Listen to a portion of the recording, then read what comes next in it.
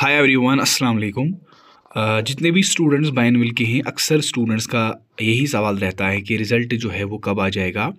क्योंकि अगर आप देखोगे, हमारे ग्रुप्स में लगभग तीन हज़ार से ज़्यादा स्टूडेंट जुड़े हुए हैं। तो उनमें से अक्सर स्टूडेंट्स फ़ोन भी करते हैं और मैसेज भी करते हैं कि हमें बता दीजिए कि रिज़ल्ट कब आ जाएगा, ठीक? पहले अगर हम बात करेंगे ट्वेल्थ क्लास के स्टूडेंट्स की, जितने भी स्टूडेंट्स हैं क्लास ट्वेल्थ के बाइनवल स्टूडेंट्स ठीक है? चाहे आपका एक सब्जेक्ट है, दो सब्जेक्ट ओवरऑल आप बाइनवल हो।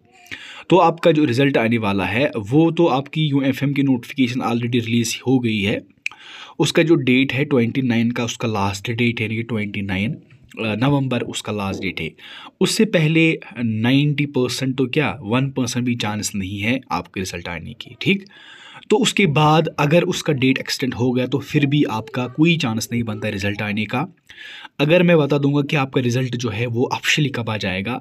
यू एफ़ के नोटिफिकेशन के बाद ही, दो दिन के बाद या तीन दिन के बाद आपका रिज़ल्ट डिक्लेयर हो जाएगा। वो डिपेंड है कि यू एफ़ की नोटिफिकेशन का रिज़ल्ट जो है, यानी कि जो के स्टूडेंट्स होते हैं, उनका रिज़ल्ट जो है, वो कैसे आ जाएगा, क्या नहीं आ जाएगा, वो डिपेंड करता है कि बाइनवल जितने भी स्टूडेंट्स हैं, जिनको ये केस हो गया है, वो जे के बोर्ड के ऑफ़िस में जो भी जो मुलाजिम है वहाँ पर, उन पर जो डिपेंड है, ठीक?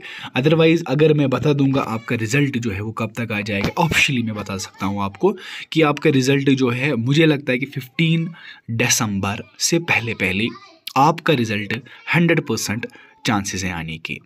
अगर इसी तरीके से एलेवंथ और टेंथ की बात करेंगे, टेंथ में लास्ट में आ जाएगी, उसके बारे में अभी डिस्कस नहीं करेंगे।